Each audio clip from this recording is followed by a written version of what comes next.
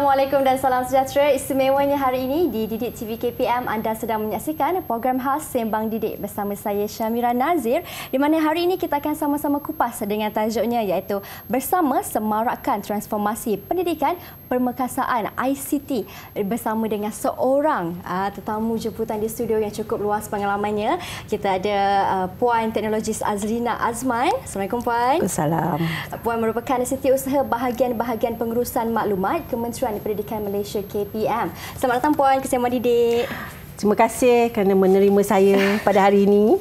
Sama-sama Puan. Baik Puan. Hari ini uh, tajuk kita, kita berbicara tentang pemekasaan ICT uh-huh. kan. Dan macam kita tahu menjelang akhir tahun depan, di mana ke semua 10,765 buah sekolah uh-huh. di seluruh negara ini akan dilengkapi dengan perkakasan teknologi komunikasi dan maklumat ICT lah. Uh-huh. Jadi uh, kalau Puan boleh kongsikan apa sebenarnya transformasi yang telah dijalankan oleh pihak KPM sendiri dalam konteks untuk uh, pemekasaan ICT ini? Okay, thank you Mira. Uh-huh. Sebelum kita bercakap tentang uh, pemekasaan ICT, mungkin kita perlu pergi patah balik sedikit dan tanya kenapa kita perlu laksanakan benda ni. Betul. Salah satu perkara yang dilaksanakan di bawah KPM adalah Pelan Pembangunan Pendidik Pendidikan Malaysia uh-huh. ataupun PPPM daripada 2013 hingga 2025 dua tahun lagi ni. Hmm, Ya? Jadi untuk ini salah satu perkara yang ditekankan dalam ni adalah pendigitalan. Dan kalau kita lihat pula, bila berlakunya pandemik COVID-19 ni, secara tidak langsung keperluan untuk pendigitalan ini semakin meningkat. Betul. Kerana kita tidak boleh tidak melaksanakan Mm-mm. pengajaran dan pembelajaran. Betul. Dan seperti yang kita sedia maklum, dua tahun. Mm-mm. So, pelbagai perkara perlu kita fikirkan dan kita inovasikan. Dan kita tahu, untuk laksanakan pendigitalan, permekasaan ICT perlu dilaksanakan pendigitalan tanpa ICT tidak akan berlaku. Mm-hmm, betul. Jadi untuk itu kita kena tengok apa yang kita ingin laksanakan. Bila kita nak perkasakan ICT, ianya adalah sesuatu yang memungkin uh, melibatkan kos yang sangat tinggi. Mm-hmm. Uh, untuk Kementerian Pendidikan Malaysia kita ada 10,000 lebih sekolah. Betul. 10,000 lebih sekolah, kita ada lebih kurang 4.5 juta murid. Dan kita ada lebih kurang 450,000 guru. Mm-hmm. Lebih kurang tolak campur. Jadi bila kita nak laksanakan pemekasan ICT, kita kena tengok dalam konteks sasaran kita. Yep. Kerana itu bila kita nak laksanakan, kita kena ada prinsip kita. Prinsip untuk pemekasan ICT kita adalah, uh, kalau kita guna bahasa Inggeris dia, mm-hmm. adalah fit for purpose. Ianya perlulah memenuhi keperluan, uh, future proof. Tidak, apa orang kata, tidak lakis matang. Maknanya dia mm-hmm. boleh bertahan lama. Kita tak boleh uh, buat perolehan atau uh, me, me, apa orang kata, me, men, mengapakan duit untuk pemekasan ICT uh, untuk ni tapi untuk tiga tahun saja contohnya mm-hmm. dan dia perlu holistik holistik ni maksud secara menyeluruh, menyeluruh supaya ke akhir dia pengakhiran dia bukan hanya sekadar nak adakan ICT itu sahaja pengakhiran dia adalah untuk memastikan mm-hmm. kemenjadian murid untuk generasi kita yang akan datang. Yeah. Kerana itu untuk pemekasan ICT dalam konteks transformasi pendidikan ianya melihat dari segi apa yang kita ingin laksanakan dan apa impak dia kepada murid iaitu yang kita sasarkan hmm. ini. Kerana itu salah satu perkara yang kita tengok adalah dari segi um, melihat dari segi ekosistem dia. Bagaimana kita nak meningkatkan bukan saja infrastruktur tapi juga penyampaian perkhidmatan. Hmm. Ya?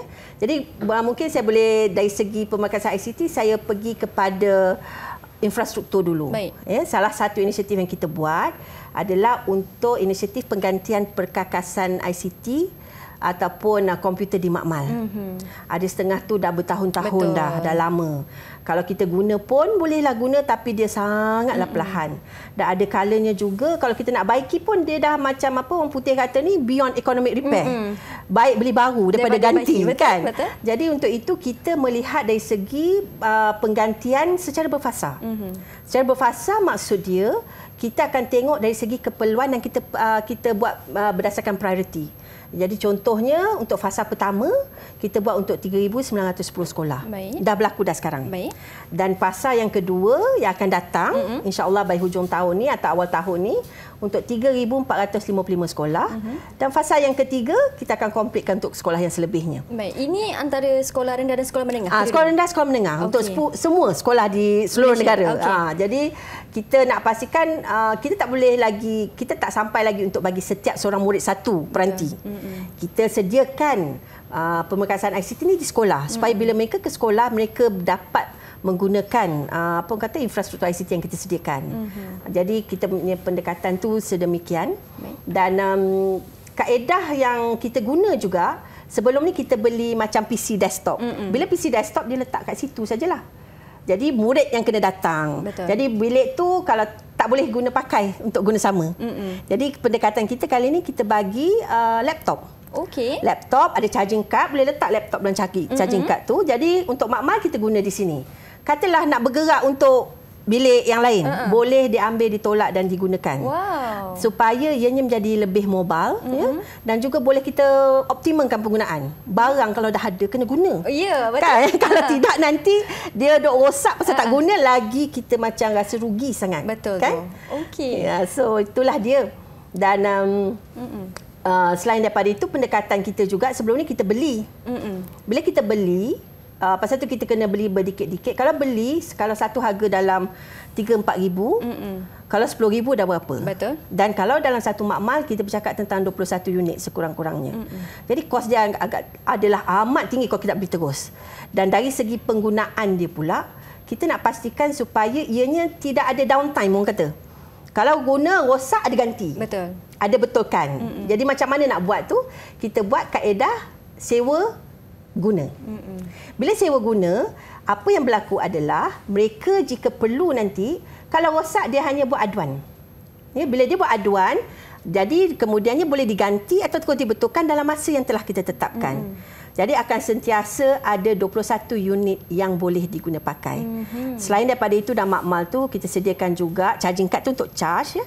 Kita sediakan juga untuk macam projector mm-hmm. ya dan printer. Jadi uh, ini adalah di antara perkara-perkara yang kita buatlah untuk makmal mm-hmm. di sekolah. Ada perubahan ni puan eh daripada Ada. desktop komputer menjadi komputer riba. Komputer riba uh betul. Jadi benda tu jadi mobile. Yeah. Jadi uh, kalau kita tengok pun kita nak supaya benda mm-hmm. tu sentiasa diguna pakai. Baik. Yeah. Uh, dan kalau kita lihat kan puan macam puan uh, katakan mm. uh, ada perubahan daripada penggunaan uh, mm. daripada komputer desktop kepada komputer riba. Ada tak lagi uh, inisiatif lain yang KPM lakukan untuk uh, dalam uh, pemekasaan ICT ini selain daripada pembekalan uh, perkakasan dalam makmal sekolah. Uh-huh. Okey, kita tahu juga uh-huh. ni kalau kita tengok berdasarkan pandemik COVID-19 ni, salah satu perkara yang kita lihat kita dah ada apa yang kita panggil pembelajaran secara hybrid. Maknanya masa dulu sebelum ni yang kita buat secara penggiliran Baik. ada setengah murid berada di sekolah, setengah murid berada di, di rumah. rumah. Yeah. Jadi bila guru mengajar ni dia akan mengajar pada dua-dua. Dan ada kalanya ianya adalah sesuatu yang agak mencabar sekiranya tidak ada uh, infrastruktur yang kita perlukan. Mm-hmm. Jadi salah satu inisiatif yang kita buat tapi kita buat secara rintis saja. Mm-hmm. Kita buat untuk 110 sekolah ya yang mana untuk ini kita melihat kepada 550 kelas setiap kelas ni akan dilengkapi dengan contohnya uh, video conference, uh, mic, kamera eh mm-hmm. dan juga smart board, smart TV berdasarkan keperluan bilik-bilik tersebut. Baik. Dan apa yang menariknya adalah sekarang ni kau cakap eh apa nak guna pula semua dah balik ke sekolah. Tetapi kita cuba gambar, cuba bayangkan sekiranya ada seorang guru yang sangat bagus di sekolah A. Mm-mm. Bila dia mengajar, dia bukan mengajar pada sekolah itu saja, kita boleh pancarkan supaya dia boleh mengajar kepada 110 wow. sekolah yang yang lain ni. Jadi semua akan semua dapat akan manfaat dapat tu. manfaat tu. Uh-huh. Kemudian kita boleh rekod Baik. dan kita boleh masuk dalam delima untuk di-share kepada semua. Wow. Jadi apa yang kita ingin laksanakan uh-huh. adalah seboleh-bolehnya pergi ke arah pembelajaran tanpa sempadan. Uh-huh. Maknanya kalau guru tu bagus, kenapa kita tak buat pengajaran secara silang? Dan kita dapat secara rintis dan ianya diterima baik di sekolah yang kita buat secara rintis itu. Mm-hmm. Pada kita ianya membuka minda murid-murid untuk melihat kepada sesuatu perkara yang mungkin dia tak dapat di sekolah dia dia akan dapat daripada sekolah, sekolah lain. yang lain. Baiklah. Hmm. Dan kalau kita lihat inisiatif yang dilakukan itu sebenarnya sangat memberi ruang kepada tenaga pengajar dan hmm. juga murid sendiri yeah. untuk dapatkan kebaikan dan manfaat itu bersama, dikongsikan hmm. bersama yeah. ya supaya uh, sesi PDP pengajaran dan pembelajaran itu dapat dilakukan secara optimum. Yeah, okay. betul. Kita akan berhenti berehat seketika puan. Kita akan sambung lagi uh, sesi perbincangan kita selepas ini. Jadi jangan ke mana-mana, teruskan setia bersama dengan kami di Sembang Didik, Didik TV. KPM.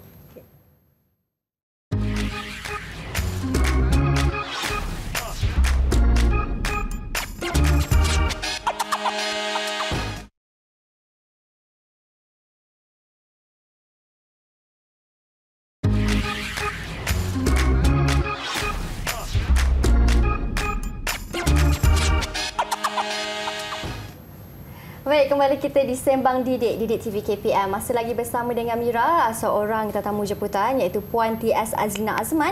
Beliau merupakan setiausaha bahagian-bahagian pengurusan maklumat Kementerian Pendidikan Malaysia KPM. Di mana hari ini kita bicarakan tentang permekasaan ICT.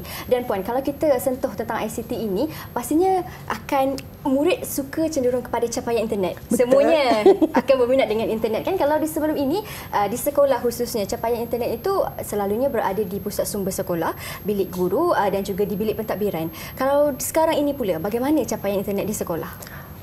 Satu soalan yang sangat bagus, Mira. Okay. Memang merupakan apa orang kata, kita sentiasa cuba untuk menja- uh, melaksanakan yang terbaik. Mm-hmm. Tapi kita tahu satu. Kita tahu satu bahawa pada ketika dan saat ini masih banyak ruang untuk penambahbaikan. Betul. Jadi kalau kita lihat di sini kan, kalau kita lihat apa yang telah kita sediakan Memang kita telah sediakan capaian internet sebanyak 30 hingga 100 meg berdas berikut sekolah-sekolah yang berada di situ dan ianya memang hanya kepada tiga lokasi yang disebutkan oleh Mira tadi. Mm-mm. Dan bila kita lihat keperluan ini mungkin keperluan yang mencukupi pada masa dua tahun yang lepas. Dan pada tahun ini kita sudah mula melihat untuk uh, apa orang kata melihat kepada penambahbaikan. Sebab kita tahu dah tak cukup dah. Mm-mm. Dah tak cukup dah. Because kalau kita nak buat kelas hybrid, kita ada makmal dekat makmal komputer, kita perlu sediakan capaian supaya capaian ini boleh berada di mana-mana dalam Betul. sekolah. So salah satu uh, perkara yang kita laksanakan pertama untuk short term ni kita buat secara penambahbaikan untuk bagi sekolah-sekolah yang sebelum ni dapat broadband lah katakan okay. kita tukar dia kepada fiber. Hmm. kalau dah ada fiber kita seperti yang kita sedia maklum kita ada jendela. Dan jendela ni yang itu pelan jalinan digital negara yang dilaksanakan oleh Kementerian Komunikasi dan Multimedia Malaysia menyediakan rangkaian fiber kepada lokasi yang berdekatan sekolah. Ada dalam 400 600 dan akan meningkat ya. Sehingga tak silap saya um, 5200 tak silap saya Baik. sekolah yang akan dapat dapat nanti. Hmm. Jadi kita juga akan mengguna pakaian yang itu. Jadi salah satu perkara yang kita akan buat untuk uh, apa orang kata pada bermula pada bulan kuarter 3 ni hmm. uh, Julai, Ogos, September sehinggalah pada akhir tahun kita akan naik taraf. Mana sekolah yang sebelum dapat broadband tapi ada fiber sekarang masuk, mm-hmm. dia akan dapat fiber. Okey. Okey. Dan kemudiannya mana sekolah yang memang fiber memang fiber lah. Mm-hmm. Dan mana sekolah yang di pendalaman, dia memang tak ada fiber, Me? dia mungkin tidak ada broadband dan sebelum tu sebelum sekolah pendalaman ni ada yang broadband ni ada sekarang ni kita dah ada 5G. Mm-hmm. So kalau mana ada 5G kita akan bagi 5G. Mm-hmm. Tetapi bagi sekolah pendalaman yang masih perlu menggunakan satelit, mm-hmm. kita akan tambah baik kepada teknologi yang lebih baik. Supaya capaian dia akan meningkat kepada capaian yang lebih baik daripada mm-hmm. apa yang ada sekarang. Dan kalau kita lihat baru-baru ni uh, yang Mak Berhormat Perdana Menteri ada lancarkan miasat 3D. Mm-hmm. Jangan miasat 3D ni dia punya teknologi tu akan menjadi lebih baik. Jadi kita akan tukar teknologi kepada teknologi yang lebih baik bagi sekolah-sekolah di pendalaman. Itu sehingga hujung tahun ni. Mm-hmm. Ya. Uh, untuk jangka panjang pula kita melihat bagaimana yang tadi ni fit for purpose kena future proof dengan holistic. Mm-hmm. Kita kena tengok bagaimana supaya pendidikan secara digital ataupun digital yang kita nak laksanakan ni boleh dilaksanakan dengan baik tanpa ada gangguan. Ada orang cakap gangguan. Uh-huh. Setengah tu orang kata macam donat lah. Donat aja. Donat tu macam pelan kan. Uh-huh. Jadi apa yang kita cadangkan, kita tengah bekerjasama dengan mampu. Kita bukan hanya melihat kepada capaian internet. Tetapi kita juga melihat kepada rangkaian dalaman yang yang Mira kata tadi mm-hmm. tiga tempat saja mm-hmm. kita akan sebar luaskan supaya capaian itu mm-hmm. dapat dilaksanakan di pelbagai lokasi di sekolah. Okay. Termasuk asrama kalau mm-hmm. ada asrama. Supaya nanti kita tidak akan ada jurang. Mm-hmm. Ha, kalau nak pergi dia zaman dulu dahulu kala bila pakai phone kan nak dapat signal kita kena tengok Betul. signal kat mana. Uh-huh. Jadi kita harap itu tak berlaku lah dalam masa. So yang untuk yang jangka panjang ni insya-Allah kita target by tahun depan. Untuk apa orang kata selepas bulan 6 lah rasanya. Mm-hmm itu pun sekiranya dipersetujui oleh pihak kerajaan. Uh, cadangan tu telah kita kita perkemaskan, telah kita tengok dan kita sedang angkatlah pada ketika ni. Mm-hmm. Ya. Jadi dari segi highway atau capaian internet ni adalah salah satu perkara yang kritikal. Mm-hmm. Kalau kita lihat kan, Betul. kita nak buat uh, pengajaran silang, kita nak buat pembelajaran uh, secara atas talian, kita nak akses kepada delima. Betul. Jadi perkara-perkara ni sudah tentu memerlukan akses internet yang lebih baik. Mm-hmm. Maksudnya pun dia bergantung kepada uh, lokasi sekolah ha, itu sendiri betul, di mana. Betul. Uh-uh. Kalau kalau kita tengok lokasi sekolah, contohnya sekolah bandar. Uh-uh. Sekolah bandar biasanya dia ada fiber. Fiber ni uh, akan diberi oleh kita punya penyedia perkhidmatan internet lah sama ada telco-telcos yang kita bekerjasama jadi berdasarkan mana yang paling menarik mm-hmm. jadi kita akan bersama dengan dia dan fiber ni pula dia boleh pergi daripada 100 sampai 800 meg mm-hmm. satu talian tetapi bila kita keluar sikit daripada kawasan bandar kita akan ada setengah ada fiber mm-hmm. makin dipertingkatkan menerusi jendela tetapi ada juga sekolah yang mulanya tidak ada ada broadband aja. Ha, yang broadband ni yang capaian macam kita punya handphone lah. Betul.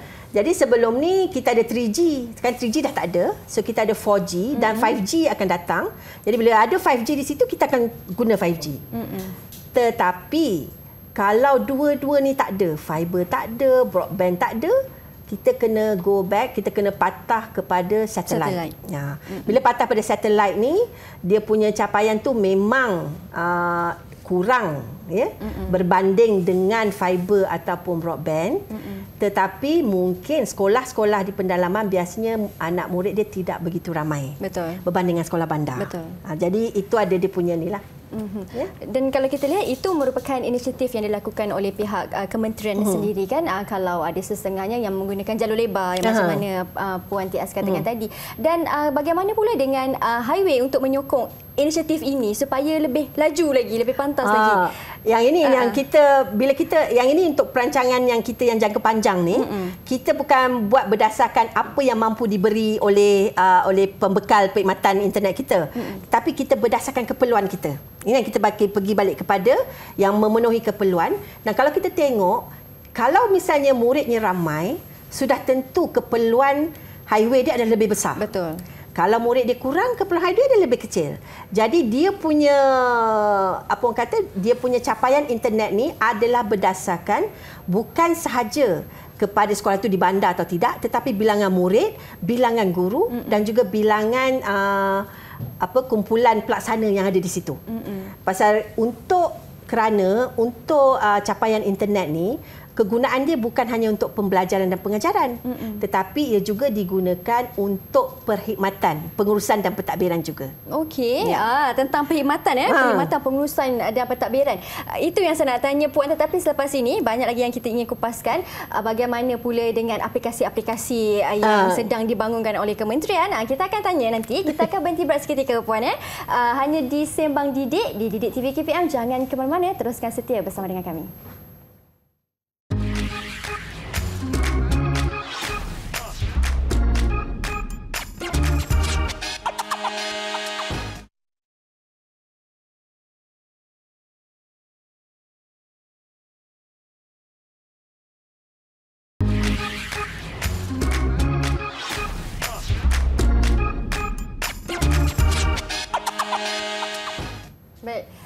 kita di Sembang Didik, Didik TV KPM di mana tajuk hari ini yang kita kupaskan ialah bersama semarakan transformasi pendidikan permekasaan ICT. Dan uh, tadi uh, Puan TS ada sentuh di mana jumlah murid di Malaysia ini hampir 4.5 juta. Satu jumlah yang ramai itu sebenarnya kan besar. Uh, jadi kalau uh, pihak Kementerian Pendidikan Malaysia nak bangunkan sendiri ataupun nak memperkasakan ICT ini pastinya dalam kita cuba uh, perfect itu akan ada juga sedikit lompong-lompong kecil. Betul, betul. Jadi bagaimana kalau adanya uh, aduan di manakah salurannya ataupun bagaimana aduan uh, untuk mereka salurkan dalam pemekasan ICT ini? Okey.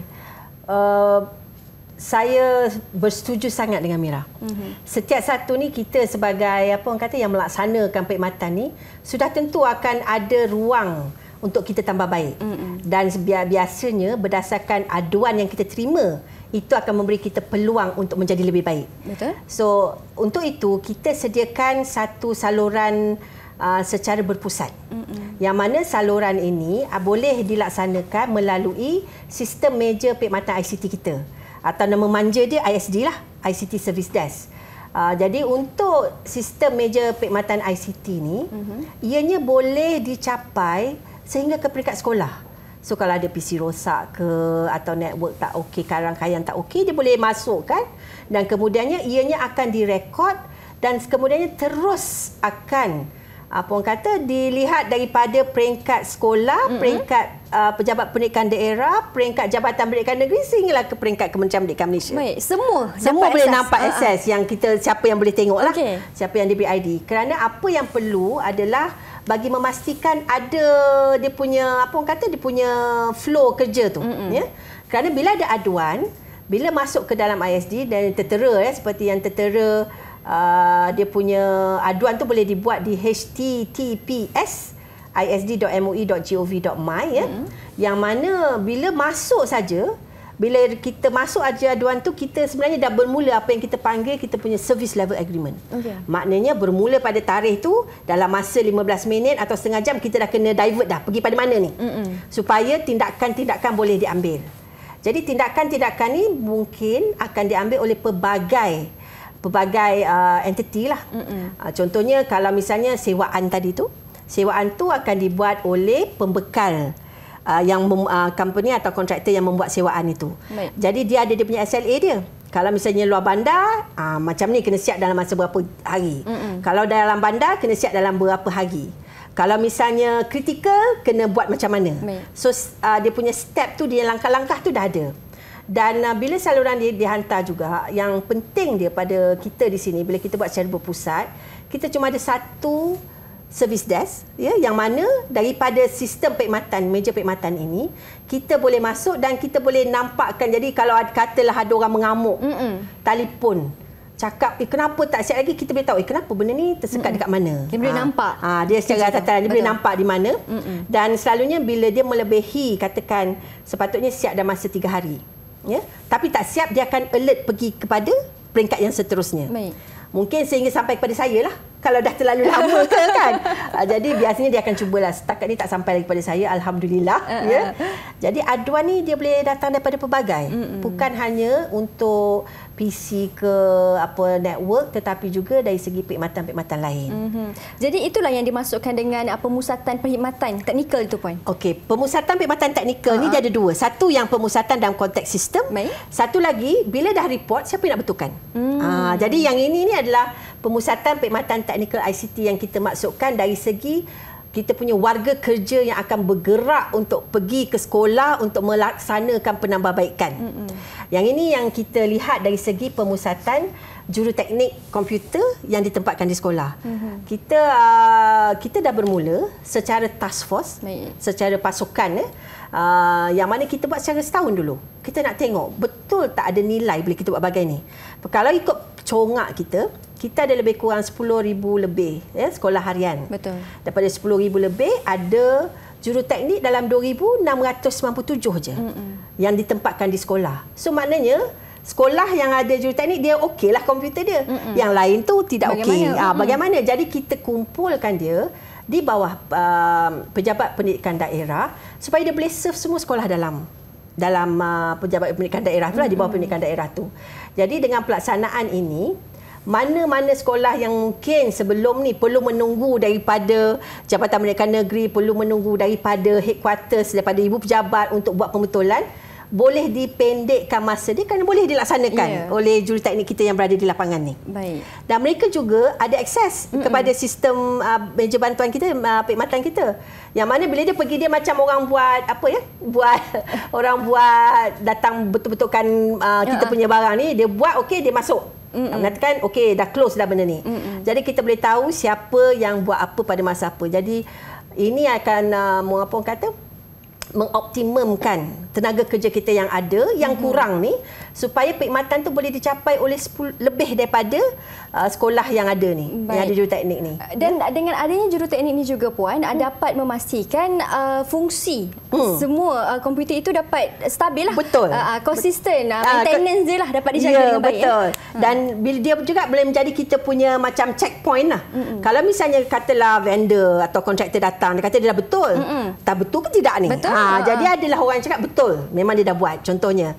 Itu satu lagi. Lagi satu, mereka juga yang juruteknik ni dia juga ada inisiatif dia sendiri. Mm-hmm. Ada kalanya setengah sekolah yang kita pun buat secara parity. Ada setengah sekolah tu dia punya komputer, katalah dia ada 20 komputer, lama, komputer lama. Daripada 20 ni ada 10 ni kalau kita ambil yang daripada parts yang lain kita betulkan yang nak dilupuskan ni, kita boleh dapat satu komputer yang mungkin boleh digunakan buat sementara, mm. sementara menunggu. Mm-hmm. So mereka juga melaksanakan perkara sedemikian. So ada sekolah yang sebelum ni Mm-mm. tak ada komputer langsung sementara Baik. menunggu dia dah dapat komputer uh, kerana usaha uh, juruteknik juruteknik kita yang di lapangan ni lah. Baik. Jadi dia punya apa orang kata dia punya perkhidmatan tu bukan hanya memberi hikmat sokongan teknikal Mm-mm. tetapi juga memberi uh, membuat inisiatif-inisiatif yang akan merancakkan lagi lah dan memastikan infrastruktur ICT kita berada dalam keadaan yang baik. baik. Kalau puan sendiri uh, uh, boleh lihat eh apa sebenarnya manfaat pelaksanaan untuk uh, uh, pemusatan perkhidmatan teknikal ni puan? Kalau kita tengok dari segi manfaat dia, Mm-mm. kalau kita tengok eh Okey, kalau kita tengok let's look uh, mari kita tengok dari segi apa yang dia buat. Mm-mm. Pertamanya macam tadi itu kan pelaksanaan inisiatif ICT di KPM ni kan memang banyak daripada tadi dalam macam-macam ni. Dan kemudian ada dia akan tengok dari segi pelaksanaan inisiatif ICT, dia akan tengok dari segi penyelesaian aduan ICT, dia akan tengok dari segi hemat bantuan mm-hmm. dan dia juga akan tengok dari segi penyelenggaraan pencegahan mm. yang dia akan buat. Tapi ini adalah dia punya job scope. Tetapi kalau kita bercakap tentang manfaat, kita buat satu je. Sebelum ni 2657 sekolah yang dapat manfaat perkhidmatan juruteknik. Mm-hmm. Tetapi sekarang dengan pendekatan ini 10,000 lebih sekolah dapat manfaat perkhidmatan juruteknik. Mereka ni akan pergi daripada satu sekolah ke satu sekolah mm-hmm. untuk melihat apa dia pembetulan yang perlu buat berdasarkan apa yang dilaporkan di dalam sistem perkhidmatan kita tadi tu, meja mm-hmm. perkhidmatan kita.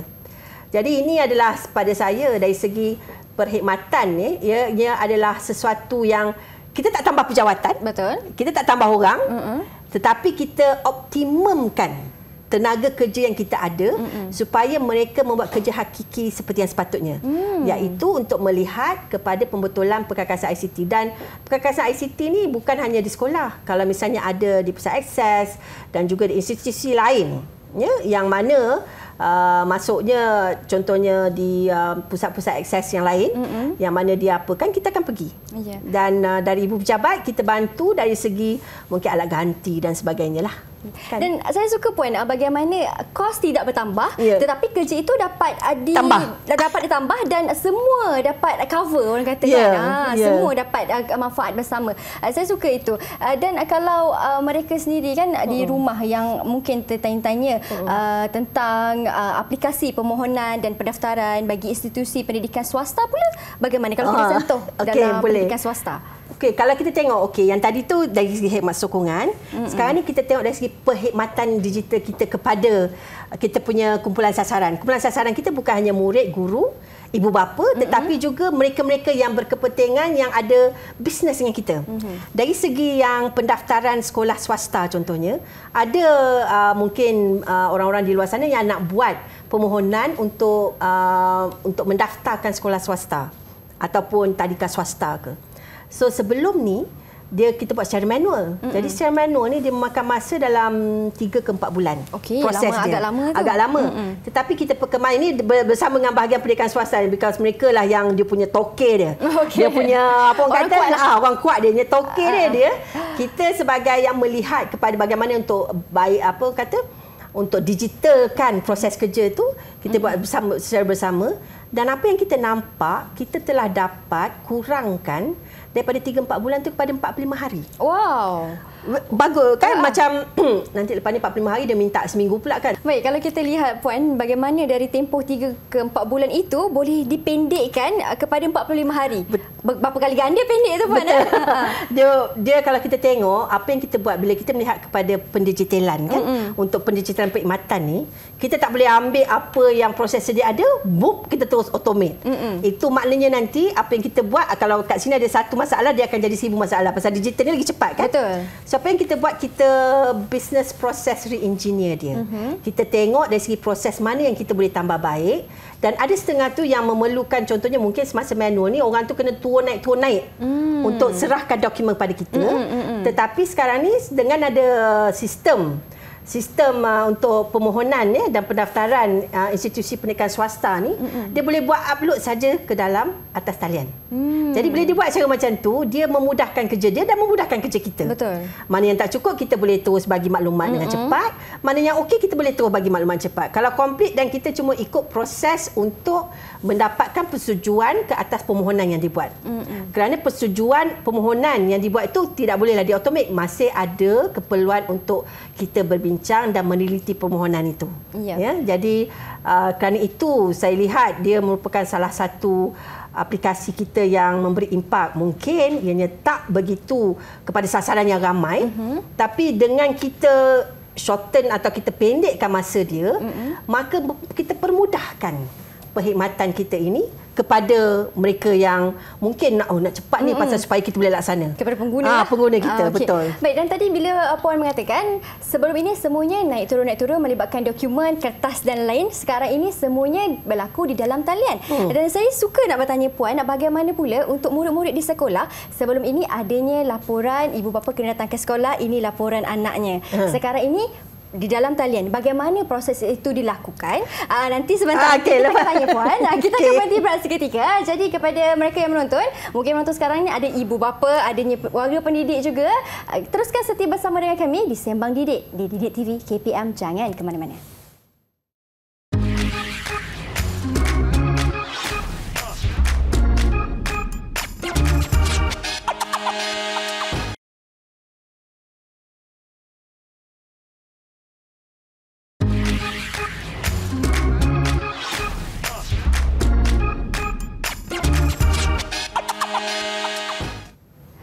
Baik, kembali kita di Sembang Didik, Didik TV KPM. Kita bicarakan tentang permekasaan ICT dan soalan saya kepada Puan kan, khususnya kepada uh, ibu bapa, warga pendidik yang sedang menonton sekarang ini, bagaimana permekasaan yang dilakukan oleh pihak KPM sendiri dari segi sasaran kepada pemegang taruh uh, dan juga dalam perkhidmatan digital ini, Puan? Okey.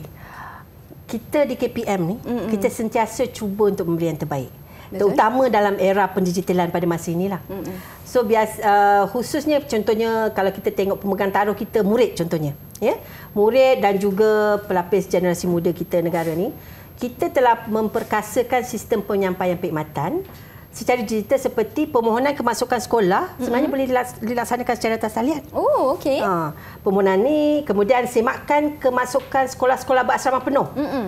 Ha, ya, dan uh, soal apa ni untuk peperiksaan dia juga dibuat secara atas talian. Mm-hmm. Ya, dan uh, semakkan keputusan peperiksaan pun ada di atas talian. Mm-hmm. Dan juga pentaksiran bilik darjah, pemeriksaan kertas peperiksaan pun ada juga dilaksanakan secara atas talian. Mm-hmm. Kenapa nak dilaksanakan secara atas talian supaya kita dapat memastikan bila kita laksanakan perkhidmatan ini ianya akan segera sampai cepat dan tepat Baik. kepada pemegang taruh kita. Mm-hmm. Dan kalau kita lihat dari segi uh, aspirasi negara di bawah rangka tindakan ekonomi my digital contohnya dia nak supaya kita ada uh, 180% uh, apa ni uh, sistem di atas talian. Mm. Yes uh, by 2025 kalau tak silap mm-hmm. saya ya maafkan saya kalau saya tersilap tapi kalau tak silap saya mm-hmm. ya jadi bila kita melihat kepada ni kita ambil satu contoh ambil satu contoh yang mana um, keputusan peperiksaan SPM yang baru ni Baik. yang baru ni yang tahun lepas adalah kali pertama kita buat semasa dalam uh, pandemik ni dia sangat mencabar mm-hmm. jadi bila kita lihat masa tahun lepas kita tak boleh tak boleh pergi sekolah jadi kita sediakan uh, keputusan peperiksaan secara atas talian. Okey, masuk nombor IC je. Ah, masuk no, angka giliran angka dengan nombor IC. Kemudiannya barulah bila kita sediakan prasarana tu, uh-huh. kita ada dalam tak silap saya 400,000 lebih ya yang mm-hmm. untuk yang ambil, nak ambil nak tunggu result ni tapi kita kena pastikan perkhidmatan ni kita guna pengkomputer pengkomputeran awan ya kita pastikan kita bukan sedia untuk 400 kita tak boleh ingat 400 orang 400 ribu orang akan masuk. Mm-mm. kita kena kali dengan 5 okey kenapa kali 5 puan? Mak bapa datuk. Oh, satu keluarga. Kali keluarga dia. Jiran. Jiran, jiran kan?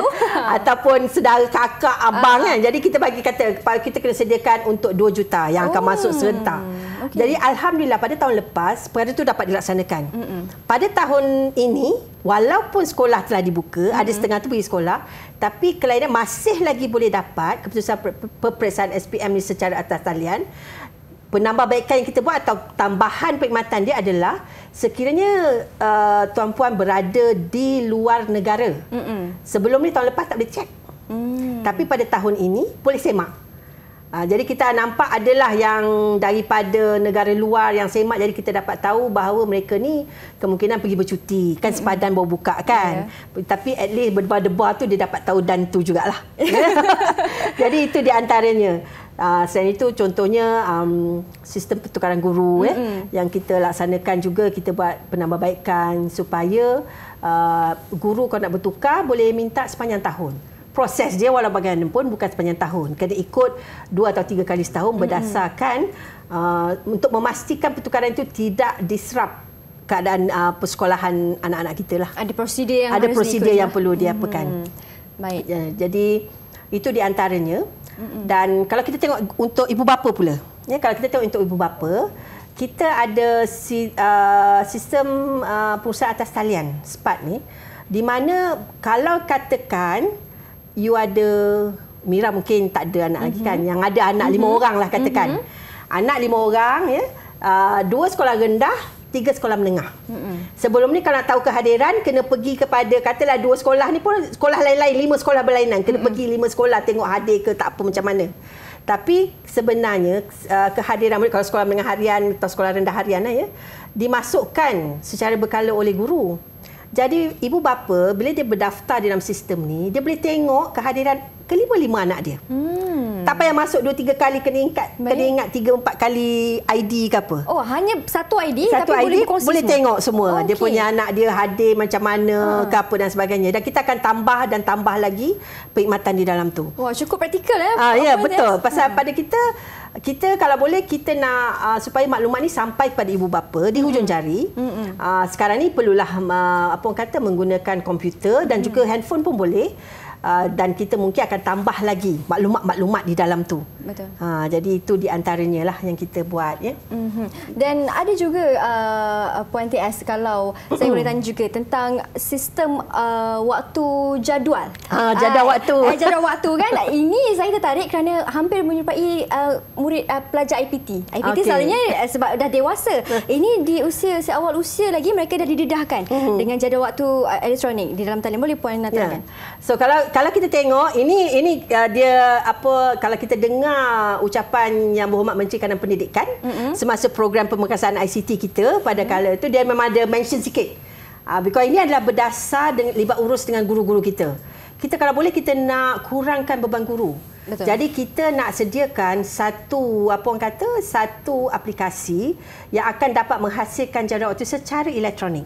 Jadi bila perkara ini berlaku, mungkin ia akan memudahkan cara. Mm-hmm. Jadi saya tak nak cakap banyak-banyak, nanti dia punya announcement akan datang tak oh, lama lagi insya-Allah okay. ya. Akan datang. akan datang dan tetapi uh, apa yang kita laksanakan pendekatan kita kita buat secara libat urus dengan guru-guru kita uh, kita tanya apa dia yang perlu kita lihat, apa dia fungsi yang ada dan sekarang ni ianya dalam peringkat pembangunan mm-hmm. dan insya-Allah sebelum akhir tahun ni uh, kita akan dapat lihat sesuatu lah InsyaAllah. Satu perkabaran yang gembira pun yang saya boleh kira aa, ah, kepada pihak uh, tenaga pengajar, ibu bapa dan juga murid sendiri. Hmm. Baik Puan, memandangkan kita sudah pun sampai ke penghujung okay. rancangan kita. Sebenarnya banyak lagi yang saya ingin berbualkan hmm. dengan Puan TS. Uh, tetapi dalam waktu yang singkat ini banyak juga yang dapat uh, hmm. di, uh, diberitahu kepada warga penonton, terutama sekali ibu bapa tentang perancangan pihak KPM ini uh, dalam pelaksanaan ataupun dalam pemekasaan uh, ICT ini. Hmm. kan. Baik uh, puan, sedikit uh, harapan uh, ataupun kata-kata akhir puan dalam ha. harapan dalam pemekasaan ICT ini.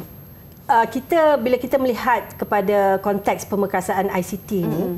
kita melihat dalam konteks bagaimana ia akan memberi manfaat kepada murid, guru dan juga warga kerja KPM pertamanya dan kemudian seterusnya kepada negara kita. Ya.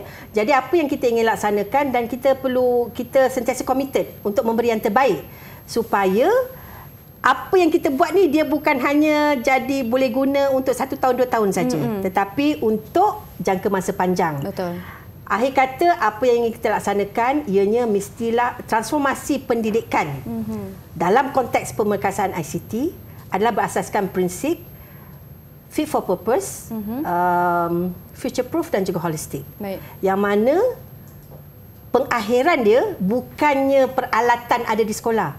Pengakhirannya adalah kemenjadian murid mm-hmm. apabila dapat dimanfaatkan pemerkasaan ICT di sekolah-sekolah dan juga di institusi pendidikan kita lah. Baik, itu dia kata-kata daripada puan saya tertarik di mana yang akhirnya yang pentingnya bagaimana kemenjadian murid itu sendiri. Hmm. Uh, dan uh, saya pun percaya pihak Kementerian Pendidikan Malaysia pastinya berikan yang terbaik khususnya untuk warga uh, remaja, murid-murid hmm. di peringkat awal usia ini kerana mereka merupakan pelapis generasi muda yang suatu hari nanti akan yeah. juga uh, membangunkan dan memerintah uh, negara kita kan yeah. puan. Uh, terima kasih banyak puan kerana sudi bersama bersama dengan kami dan berkongsi uh, tentang pemekasaan ICT ini. Diharapkan informasi ini memberi uh, sedikit uh, apa tu uh, kepada ibu bapa lah tentang pencerahan, uh, pencerahan ya. kepada mereka kan. Terima kasih banyak puan. uh, terima kasih juga kepada semua yang menonton. Teruskan setia menonton uh, Sembang Didik di Didik TV KPM untuk hmm. lebih banyak lagi informasi yang menarik. Saya Syamira Nazir. Assalamualaikum dan salam sejahtera. Terima kasih Puan TS. Terima kasih sama-sama Puan Cik Mira. terima kasih Puan.